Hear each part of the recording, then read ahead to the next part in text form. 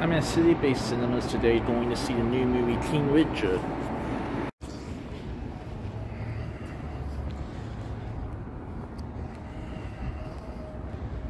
King Richard.